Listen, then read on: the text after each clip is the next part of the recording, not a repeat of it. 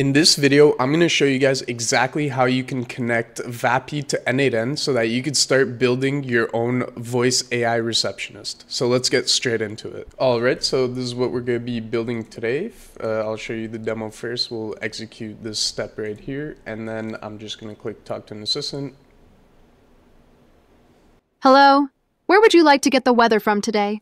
I'd like to get the weather from uh, downtown Toronto. Let me check that for you real quick. The weather in downtown Toronto is currently sunny with a temperature of approximately 22 degrees to 71 degrees, and no rain is expected today. Enjoy your day.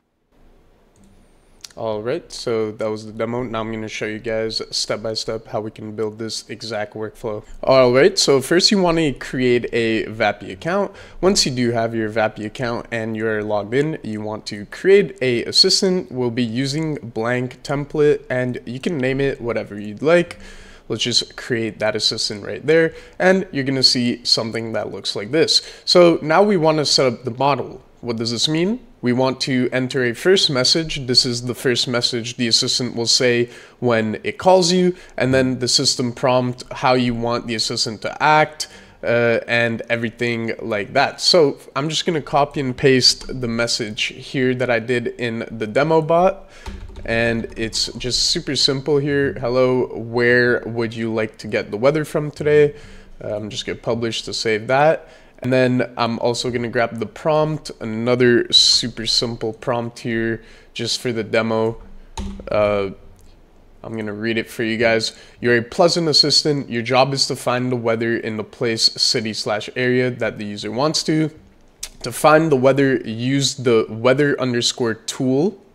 And then I also wrote answer, let me check uh, that for you real quick before going to use the tool and you guys can use that simple prompt to try and set this up for yourselves. So once you have the model set up like so, we're gonna have to create a tool to be able to use uh, the connection, the API connection to VAPI. So we're gonna go to, uh, sorry, the API connection to N8N. So what we're gonna do is we're gonna go to tools here and we're gonna click create new tool. Now, once you're in the Tools tab, you want to create a new tool and you're gonna click a custom tool just like so, and it's gonna look just like this. So if you wanna set up exactly how I set up the same weather tool, all we're gonna do is we're gonna name it weather underscore tool. The description can be something like this. This tool will find the weather in the location that user prompted. Super simple, just a little description.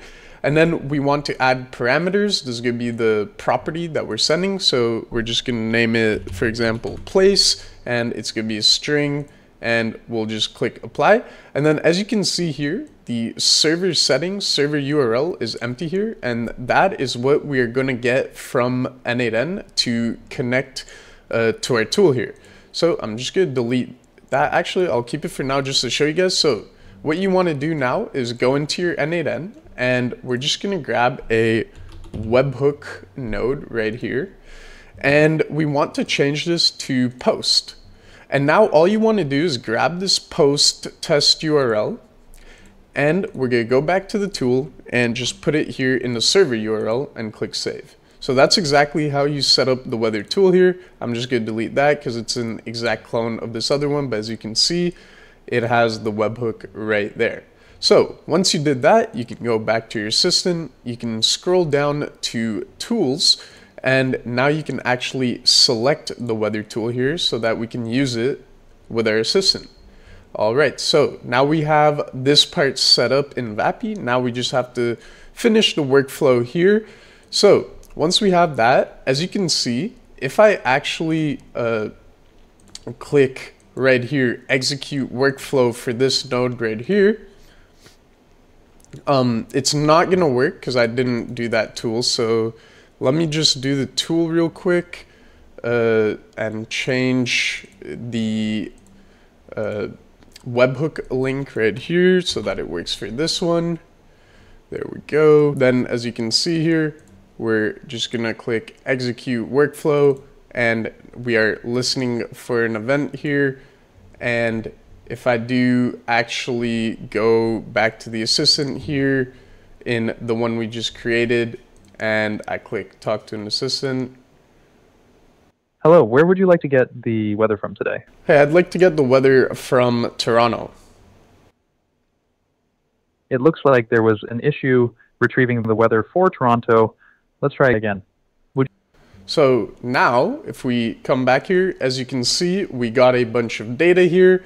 And the most important is the argument sent place Toronto. So we got the place extracted into N8N. And as you can see, it is actually green.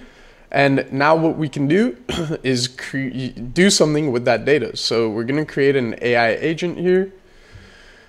And uh, for this AI agent, uh, we're just going to make a prompt that looks like this. Pretty simple. So let me just copy and paste that and then I'll read it for you guys. So right here, so find the weather for, and then I basically just drag and dropped uh, this variable right here.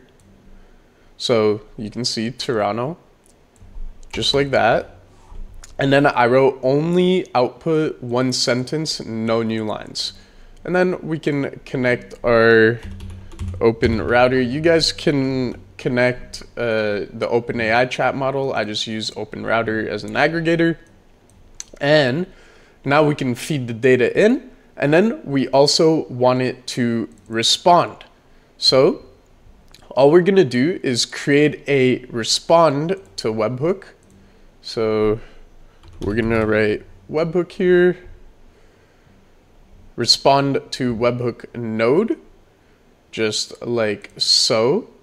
And then we're gonna click on JSON here because we need to respond with a certain format for VAPI to understand it. And uh, basically I have it right here but it's in their documentation.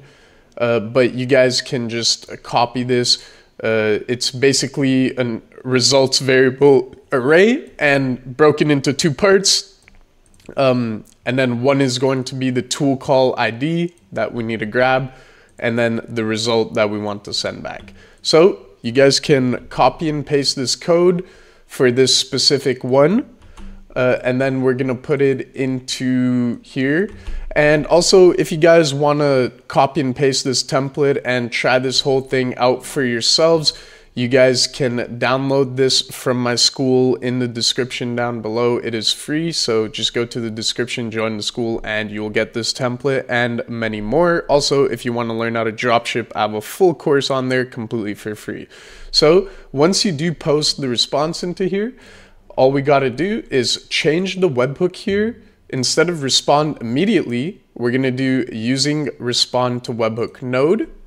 And then once we do that, the, the setup should be set up well and we're just going to save. So now we're just going to test it. We're going to click execute workflow here so that it's listening for the webhook and we'll talk to the assistant.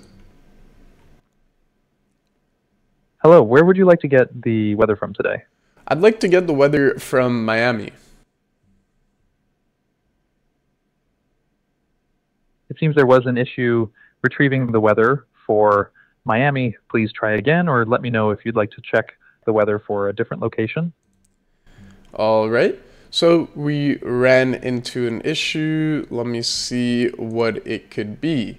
So error finding reference node. And that's because the uh, webhook ID is different. So let me just find this. It's going to be this ID. So for some reason, it was not picked up well as a variable. So I'm just going to replace it here. So if that happens to you guys as well, uh, you just scroll down here to where the tools called and then you go to the array tool call zero and you grab the ID. This ID is the one that needs to be linked to this variable. So sorry about that. Quick debugging live for you guys. And now I'm going to show you guys it working.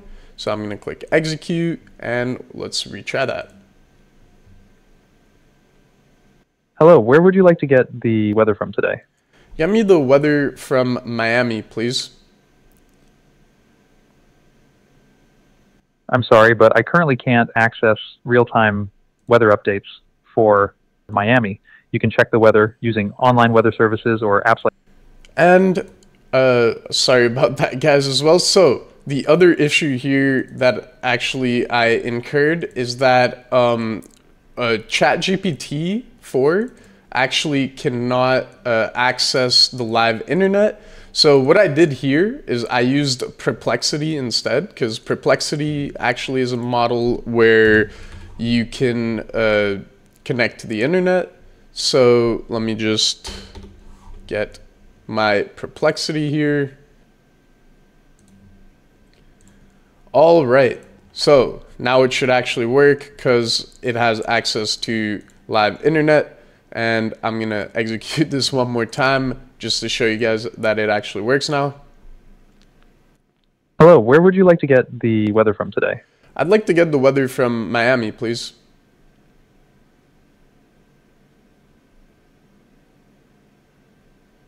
Today in Miami, the weather is, is partly sunny uh, with a couple of afternoon showers. The high temperature will be around 90 degrees Fahrenheit. There are breezy winds gusting up to 25 miles per hour, influenced by Hurricane Imelda nearby.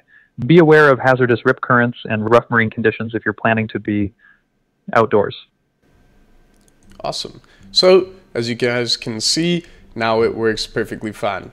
So we did run into some issues there, but I'm glad that I could show you guys how I debug it live and figure out the issue. Just in case you guys have issues too, don't get demotivated. Always try and keep pushing to figure out why the issue happened as you can see, even for such a small demo like this, there could always be some issues. So hopefully if you guys ran into some of those, I cleared it up in this video right here. And I'm going to be putting this template in my Skool. Make sure to join there. But other than that, I hope you guys found this video helpful. Make sure to leave a like and subscribe. It does help me a lot and I do appreciate it. But other than that, take it easy guys. See you next time.